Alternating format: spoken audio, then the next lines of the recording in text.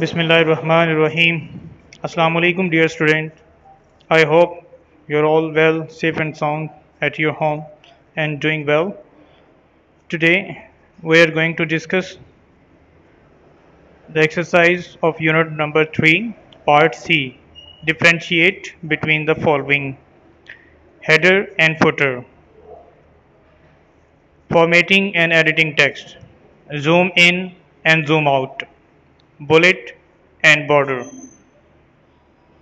You can see the page number in front of these questions. Header and footer 74 formatting and editing text 64 57 zoom and zoom it zoom out 55 bullet and numbers 66 and 68 now we are going to discuss differentiate between header and footer. The answer is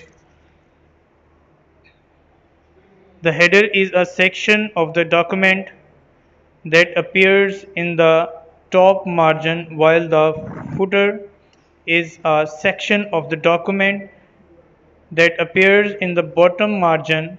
The use of header and footer makes the document professional and Polished header and footer generally contains information such as the page number, date and document's name. Now differentiate between formatting and text editing or editing text. The answer is a feature that uh, in Word that can enhance the appearance of the text in a document is called formatting text. By using this feature, a user can use various font, styles, and colors to highlight important text. We have studied all of these and some other formatting features like highlighting text and alignment of text in the previous class.